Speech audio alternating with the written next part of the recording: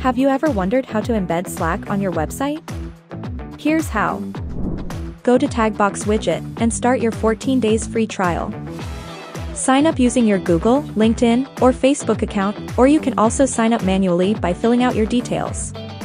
After signing up, select where you want to use your widget and get started. Verify your email for authentication. Once verified, it's time to explore Tagbox's app. We simplified content aggregation into three simple steps, select the source, add content, and publish. You can collect content from 15 plus platforms, here we will choose Slack. You have two options to create a Slack feed. You can either choose a specific channel, or you can select a channel and add a keyword filter. Start by connecting your Slack account and granting access to Tagbox for your workspace. Once that's done, pick the channel you want to create the feed from. If you want to filter by a keyword, simply add it along with the channel selection. This way, only the messages from that channel containing the keyword will be fetched. Click Next to continue. Your Slack channel communication feed has been successfully added to your widget. Now before publishing it, let's make your feed relevant by moderating and customizing it.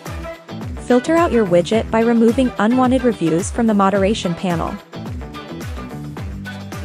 Once you are done, go to the design panel to make your widget look more appealing. Pick the theme that matches your website's look and vibe the most. After selecting the theme of your choice, you can personalize it to suit your preferences. This means adjusting the background color, adding a banner, modifying the review card, and activating extra features like post shuffling, auto update, custom CSS, and more. Once you are done with all the customization, your widget is now ready to get published. Select where you want to publish your widget, be it on the web page, hashtag campaigns, email campaigns, or tag-based widget. Here we will publish it on web pages, choose your preferred CMS platform, and follow the steps. The easiest way is to copy the embed code and paste it to the back end of your website. Save the changes. Congratulations! Your Slack channel widget has been successfully embedded on your web page. Plus, all your upcoming conversations will be gathered in your moderation panel.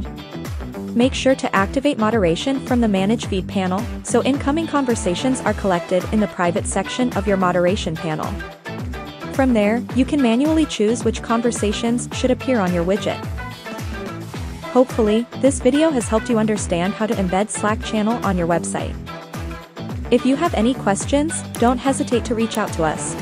Or connect with our CMS team anytime.